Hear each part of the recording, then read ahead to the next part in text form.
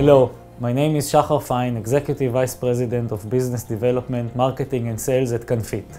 Kanfit is a leading manufacturer of high quality parts and assemblies made from composite materials and metals. Prior to using Okapi, Kanfit faced four major challenges. We needed to shorten our lead times. In a growing competitive landscape, our customers were demanding that we shorten our lead times while maintaining our ability to deliver on schedule. Kanfit needed to raise the manager's accountability for adjusting production costs in relation to production output.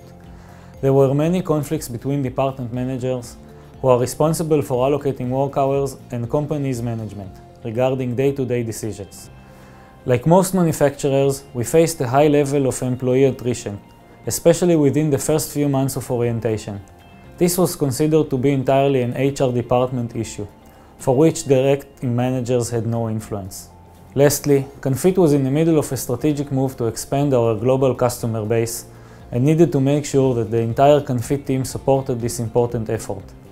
This needed to be done without harming our delivery to the local market.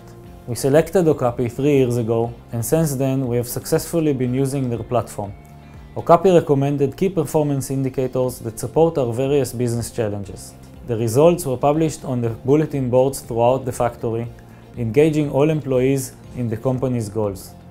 The high visibility of the KPI data allows the station managers to make better decisions and to speak the same language as management. Okapi makes it easier for them to clearly understand expectation and to dramatically increase their level of accountability. I am very proud of the achievement we have made during the last three years. In the first year alone, we were able to improve our gross profit by over $1 million. In 2015, we focused on improving our personnel orientation KPIs, reducing our attrition from 5% to 1.5%. We were also successful in reaching top performance in sales order fulfillment, reaching an average of 100%.